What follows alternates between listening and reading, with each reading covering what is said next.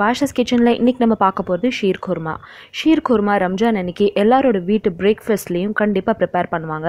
So இது வந்து ஒரு ஃபெஸ்டிவல் டிஷ் வாங்க இது எப்படி ப்ரிப்பேர் பண்ணுறதுன்னு பார்ப்போம். ஷீர் குர்மா அப்படின்றது ஒரு வெர்மிசாலி புட்டிங் தான். ஸோ கிட்டத்தட்ட பார்த்தீங்கன்னா பாயசம் மாதிரியே வரும் நம்மளுக்கு. ஆனால் நிறைய நட்ஸ் போடுறதுனால ரொம்ப ரொம்ப டேஸ்ட்டாக இருக்கும். ஸோ இதை ப்ரிப்பேர் பண்ணுறதுக்கு ருமானியா சேமியா வாங்கிக்கோங்க. இது வந்து மெலி சேமியா. அப்புறம் இதுக்கு நிறைய நட்ஸ் தேவைப்படும். என்னென்ன நட்ஸ் இதில் போடலான்றது பார்க்கலாம். இது வந்து மெலன் சீட்ஸ் மெலன் சீட்ஸ் வந்து உங்களோட டேஸ்ட்டுக்கு ஏற்றாப்புல நீங்கள் எடுத்துக்கலாம். இது வந்து குக்கும்பர் சீட்ஸ் அப்புறம் கொஞ்சம் சுகர் எடுத்திருக்கேன். நான் மில்க் மீட் சேர்த்துக்க போகிறேன் அப்படின்றதுனால சுகர் கம்மியாக எடுத்திருக்கேன். அப்புறம் இது வந்து சாரா பருப்பு. இது எல்லாமே நம்ம ட்ரையாக சேர்த்துக்க போகிறோம் ஒரு லவங்கம் ஒரு நாலு ஏலக்காய் எடுத்து வச்சுருக்கேன்.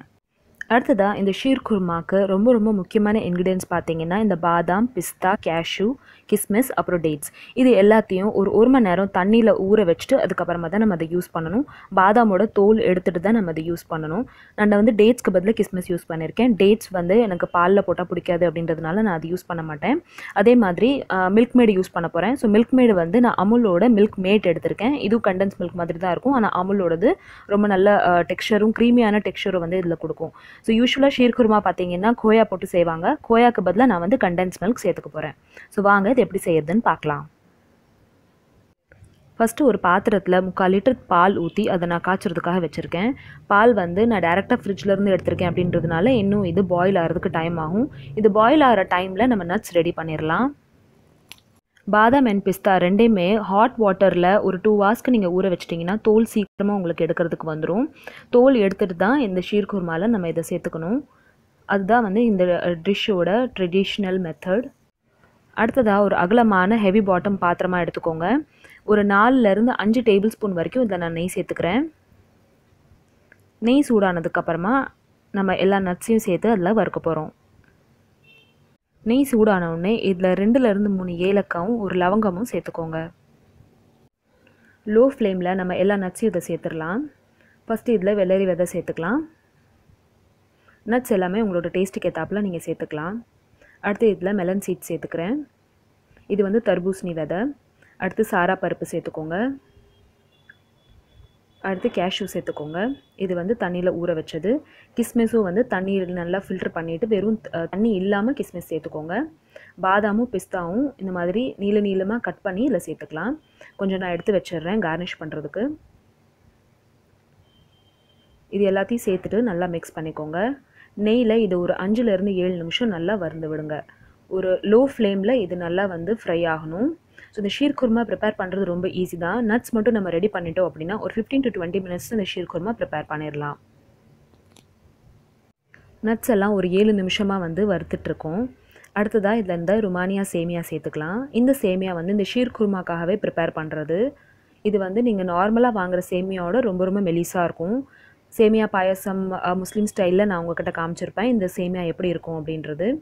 ஸோ அது அந்த வீடியோவோட லிங்க் நான் கீழே டிஸ்கிரிப்ஷன் பாக்ஸில் கொடுக்குறேன். அதையும் நீங்கள் ஓப்பன் பண்ணி பாருங்கள் இப்போ இந்த சேமியா சேர்த்ததுக்கப்புறமா இது எல்லாத்தையும் நல்லா மிக்ஸ் பண்ணிக்கலாம். இந்த சேமியாவில் தான் நம்ம இனிப் சேமியாவும் செய்வோம். ஸோ அந்த அதை வந்து நம்ம ஜர்தா சேமியா அப்படின்னு சொல்லலாம். அந்த சேமியா வந்து இன்னும் நல்லா டேஸ்ட்டாக இருக்கும். இதே மாதிரி தான் நட்ஸ் போட்டு ஆனால் வந்து அதில் சக்கரை பாகு ஊற்றி அதை வேக வைக்கணும். ஸோ அது ஒரு டிஃப்ரெண்ட்டான ஸ்வீட் ரெசிபி அது. இப்போ இதை ஒரு அஞ்சுலேருந்து ஏழு நிமிஷம் நல்லா வறுத்து எடுத்துடலாம். ஒரு ஃபைவ் மினிட்ஸ் இதை கை விடாமல் கிளறிட்டே இருந்தோம். இப்போ இதில் பால் சேர்த்துக்கலாம். பால் நல்ல ஃபுல் க்ரீமாக இருந்துச்சுன்னா ரொம்ப நல்ல டெக்ஸ்சர் இதுக்கு வந்து உங்களுக்கு வரும். அதனால் நான் ஆடையோடு சேர்த்துடுறேன் இதை. ஒரு மூணுலேருந்து நாலு டேபிள் ஸ்பூன் இதில் நான் சர்க்கரை சேர்த்துருக்கேன். எல்லாத்தையும் நல்லா மிக்ஸ் பண்ணிவிட்டு இது கொதிக்கிறதுக்கு வெயிட் பண்ணலாம். ஒரு ஃபைவ் மினிட்ஸ் லோ ஃப்ளேமில் இது வேகட்டும். இப்போ நம்ம ஷீர் குர்மா செவன் மினிட்ஸாக கொதிச்சிட்ருக்கு ஒரு ஏழு நிமிஷம் சேமியா போட்டதுக்கப்புறமா கொதிக்க விட்டுருங்க. அதுக்கப்புறமா அதில் நம்ம மில்க் மேட் சேர்த்துக்கலாம். உங்ககிட்ட மில்க் மேட் இல்லைன்னா நீங்கள் கோயா கூட சேர்த்துக்கலாம் இந்த ஸ்டேஜில் ஸோ கோயாக்கு பதிலாக நான் மில்க் மேடு சேர்த்துக்கிறேன். மில்க் மேடு சேர்க்கறதுனால இந்த ஷீர் குருமா நல்ல க்ரீமியான டெக்ஸ்சர் உங்களுக்கு கிடைக்கும். மில்க் மேட் சேர்த்துட்டு எல்லாம் நல்லா மிக்ஸ் பண்ணிவிட்டு ஒரு அஞ்சு நிமிஷத்து இது வந்து கொதிக்க விட்டுருங்க. ஒரு ஃபைவ் மினிட்ஸ் இதை கொதிச்சதுக்கப்புறமா நம்ம இதை ஆஃப் பண்ணிட போகிறோம் நம்மளோட ஷீர் குருமா ஒரு ஃபைவ் மினிட்ஸாக கொதிச்சிட்ருக்கு ஒரு திக்கான கன்சிஸ்டன்சி வந்தோடனே இதை நம்ம மூடி வச்சுட்டு ஃப்ளேமை ஆஃப் பண்ணிட போகிறோம் ஒரு ஃபிஃப்டீன் மினிட்ஸ்க்கு அப்புறமா இதை நான் ஓப்பன் பண்ணுறேன் ஸோ நம்மளோட ஷீர் குருமா பர்ஃபெக்டாக ரெடி ஆயிடுச்சு இது ஒரு பர்ஃபெக்டான ஃபெஸ்டிவல் டிஷ் ஸோ நாளைக்கு ஃபெஸ்டிவல் அப்படின்றதுனால நான் உங்களுக்கு இன்றைக்கே இதை செஞ்சு காமிச்சிட்டேன். ஸோ இதே மாதிரி ஒரு ஃபெஸ்டிவல் டிஷ் கண்டிப்பாக நீங்கள் நாளைக்கு உங்கள் வீட்டில் ப்ரிப்பேர் பண்ணி பாருங்கள் இதோட டெக்ஸ்சர் எப்படி இருக்குது அப்படின்றத பார்க்குறதுக்கு நான் உங்களுக்கு இதை வந்து ஒரு ஃப்ளாட்டான பாத்திரத்தில் இதை நான் உங்களுக்கு டிஷ் அவுட் பண்ணி காமிக்கிறேன்.